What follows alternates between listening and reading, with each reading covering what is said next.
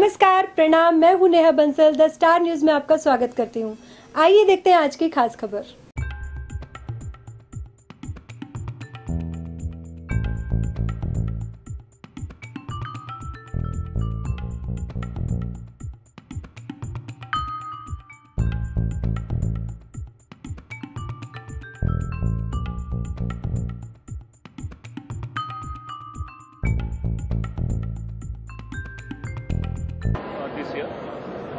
Bring out the awareness in the public and uh, and to have a interaction, good interaction with uh, our government agencies and private agencies to know the latest technologies which uh, are there worldwide. We're here this morning for the opening of the EFAT Mumbai.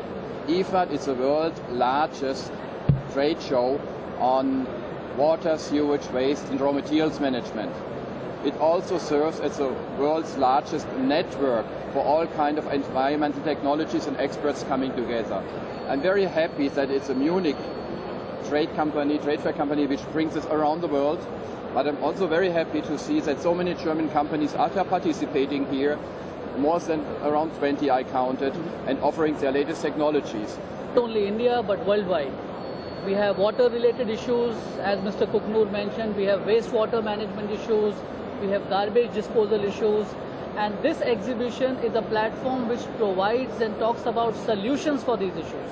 So that's why our effort is to bring together the world industry, the experts from all across the world, from Germany, Sweden, Norway, China, all across, and create a discussion which moves into the direction of finding the right solutions for our municipal corporations, for our political class, for the executive class, and that's why we are very happy that E is हमारा stall में basically sewerage treatment plant का भी display कर रहे हैं हमने। Bandra sewerage treatment plant जो भी सीलिंग के बाजू में टोल प्लाजा के बाजू में उसका एक मॉडल भी डिस्प्ले किया हुआ है। उसके अंदर फ्रेंडली तरह से हम लोग सीवरेज ट्रीटमेंट प्लांट जो कर रहे हैं वो लोगों को दिखना नहीं चाहिए स्मेल नहीं आना चाहिए करके उसका एनवायरमेंटल फ्रेंडली का रूप कैसा हो सकता है वो हिसाब से हमने डिस्प्ले किया हुआ है। ताकि आने जाने लोगों को दिखना नहीं चाहिए कि सीवरेज ट्रीटमेंट प्लांट है। करके उनको लगना चाहिए कि कोई तो गार्डन टाइप है ग्रीनरी दिख रहा है। सौंदर्य दिखना चाहिए। आय को, आँखों को एकदम मैंने क्या होता है? अच्छा दिखना चाहिए। सुंदर दिखना चाहिए। तो हिसाब से उसको डिज़ाइन करके डिस्प्ले किया हुआ है उधर। काफ़ी मेहनत ले रहे हैं हम लोग ये प्रक्रिया के अंदर। तो और उधर एक विविंग गैलरी भी हम लोग प्रपोज किया हुआ है। विविंग गैलरी जो लास्ट में रखा हुआ है हमने, ताकि ऊपर जाके लोग एक ऐसा मनोरंजन की तरफ़ से दृश्य जरा विविंग देख सकते हैं क्योंकि उधर बैंड स्टैंड है सीलिंग है माहिम फोर्ट है अरेबियन सी है और इस तरह बैंड्रा का जो नज़ारा उनको दिखना चाहिए वो हिसाब से हमने एक विविंग गैलरी भी प्रपोज किया है बैंड्रा में। बाकी सब जी- सब जगह डिपार्ट सब ट्रीटमेंट प्लांट पे हम लोग नया नया टेंडर्स निकाल के और उसमें इम्प्रूव करने की कोशिश कर रहे हैं हम लोग। तो प्रोसेस में है प्रक्रिया चालू है उसका। अ, पहले अभी टेंडरिंग स्टेज में है फ़िलहाल तो आज की तारीख में। तो टेंडर हमने निकाला हुआ है तो बिडिंग प्रोसेस अभी चालू होएगा हमारा। तो बिडिंग प्रोसेस चालू होएगा तो उसके बाद हमको हर एक ट्रीटमेंट प्लांट का अलग अलग हमने उसमें टाइम पीरियड रखा है।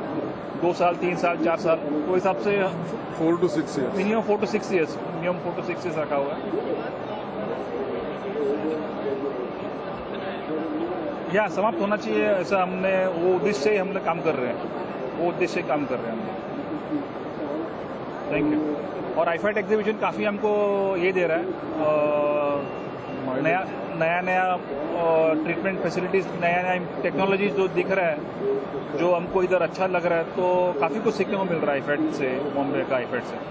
And we are the co partner of IFAT this year तो काफ़ी इंटरेक्शन बढ़ रहा है हमारे स्टाफ से उनसे अभी दोपहर को मीटिंग भी मीटिंग भी रखा है हमने सप्लायर से जो भी टेक्नोलॉजी है उनसे सीखने के लिए।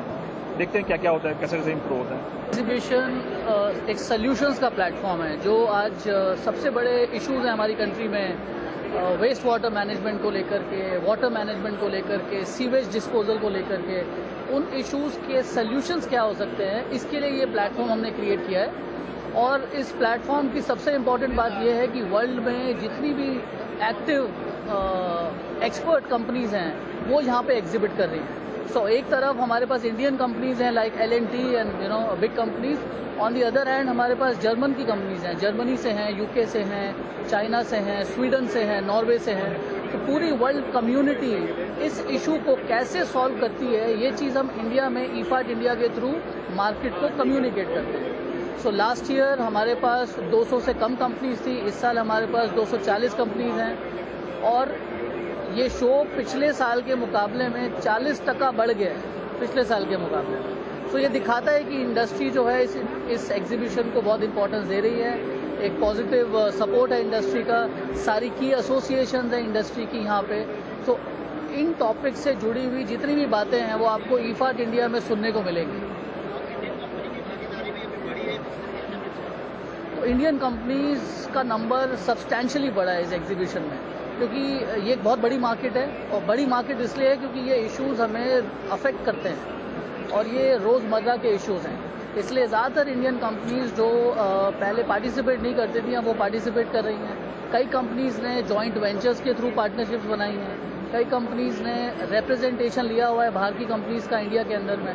सो so, ये ओवरऑल एक बहुत अच्छी चीज़ है क्योंकि ये इश्यूज़ इतने इंपॉर्टेंट हैं कि इंडियन कंपनीज़ इस मैसेज को लेकर आगे जा सकती हैं। पूरी कंट्री के लिए सबसे इंपॉर्टेंट इशू आज की डेट में वाटर है। अगर आप नीति आयोग की रिपोर्ट पढ़े हैं तो 2021 में करीब करीब 20 शहर ऐसे हैं जहाँ पे ग्राउंड वाटर खत्म हो जाएगा। और ये बहुत दूर नहीं है बहुत नज़दीक है। तो ये इशू मुंबई का भी है, महाराष्ट्र का भी है, पूरे देश का है। और इन इश्यूज़ की, ये सेम प्रॉब्लम्स वर्ल्ड में बाकी देशों ने भी फेस किए हैं। लेकिन उन्होंने इसके सोल्यूशंस ढूंढ लिए हैं टेक्नोलॉजी के through so technology is the answer और इसका सबसे बड़ा इम्पैक्ट ये है कि जो प्रॉब्लम्स हम आती हुई देख रहे हैं फ्यूचर में, उनके बारे में हम ऑलरेडी सोच के एक्शन लेना स्टार्ट कर सकते हैं। तो मेरे हिसाब से ये बहुत ज़रूरी चीज़ है और एमसीजीएम ने सपोर्ट किया है हमारे इस इनिशिएटिव को। They are the partner for the exhibition तो ये दिखाता है कि गवर्नमेंट लेवल पे बहुत अच्छी अवेयरनेस है इस टॉपिक को लेकर। के एंड मुझे उम्मीद है कि अवेयरनेस बढ़े आगे जाकर थैंक यू फ़िल्म क्राइम राजनीति और धर्म से जुड़ी खबरों को देखने के लिए देखते रहिए द स्टार न्यूज़।